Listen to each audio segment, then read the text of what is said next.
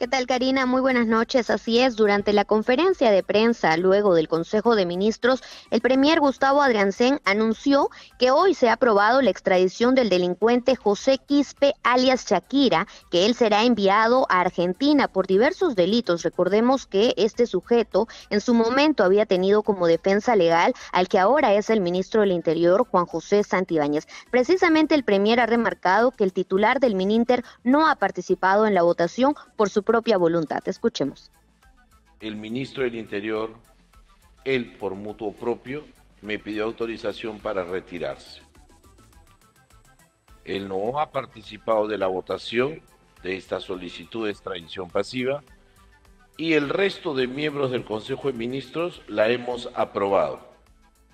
En consecuencia, lo que corresponde ahora es que se dé trámite a esa solicitud de extradición pasiva y el ciudadano que usted ha mencionado va a ser enviado a la Argentina.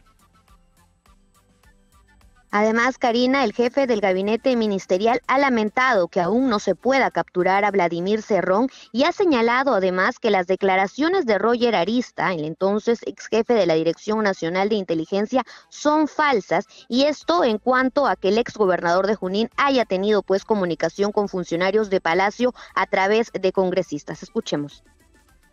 Pero esta labor no va a cesar hasta capturar. Lamentablemente hasta la fecha no tenemos el resultado esperado. Hemos estado en varias oportunidades muy cerca de capturarlo, pero lamentablemente esto no se ha concretado hasta el momento. La Presidenta de la República ha indicado con absoluta claridad que en este país no hay impunidad. Con relación a las declaraciones del señor Arista, ex jefe de la DINI, que estaría comprometiendo a funcionarios eh, próximos al despacho presidencial. Ya hemos escuchado de ellos mismos declaraciones en el sentido de negar enfáticamente que esa posibilidad haya existido.